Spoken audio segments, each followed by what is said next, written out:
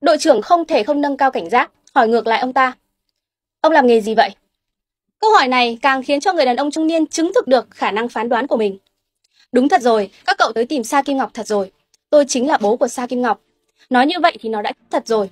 Nó còn được chôn ở đây. Đến nước này thì tổ trưởng không thể giữ được bí mật nữa nên đành nói thật với ông ta. Đúng vậy, chúng tôi dẫn nghi phạm tới hiện trường để tìm thi thể của cậu ấy. Thế nhưng tại sao ông lại biết được những điều này? Tổ trưởng lại càng thêm nghi ngờ. Khoảng 4 ngày trước, con trai tôi có báo mộng cho tôi. Nó nói nó bị người khác hại, một cách rất oan uổng, rất thảm, sau đó là bị kéo xác tới đây. Nó còn nói hôm kia các cậu sẽ tới đây tìm nó, nó đang cảm thấy oan ức cực độ.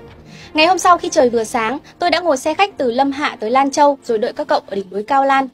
Ngày đầu tiên chưa thấy các cậu tới, ngày hôm qua thì tôi đã đợi nguyên một ngày. Vậy mà các cậu vẫn không tới. Nhưng tôi vẫn tin vào giấc mơ, con tôi đã báo mộng thì chắc chắn sẽ đúng. Nó nói địa điểm một cách rất chính xác, nó còn nói thêm nó đang cảm thấy rất oan uổng. Cho nên tôi đã đến đây và chờ đợi, chờ tới mấy ngày, chờ cho tới khi các cậu tới. Và cuối cùng các cậu đã đến thật. Đội trưởng đội chuyên án nghe xong thì càng cảm thấy kinh ngạc hơn, đặc biệt là kẻ đã xa Kim Ngọc. Sau khi nghe xong thì hắn đã tái mét mặt mày.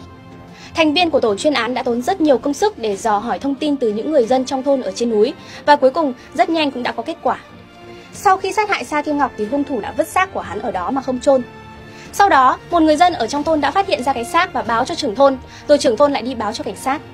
Nhưng mấy ngày sau, chẳng thấy ai đến tìm mà cũng chẳng thấy ai thông báo. Tưởng là kẻ lang thang bị chết cóng vì lạnh, cho nên người dân đã chôn cái xác xuống ở nơi mà họ đã tìm được.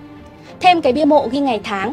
5 năm sau ngày Sa Kim Ngọc qua đời thì cảnh sát đã đưa hung thủ quay trở lại hiện trường, khiến cho trưởng thôn phải đứng hình.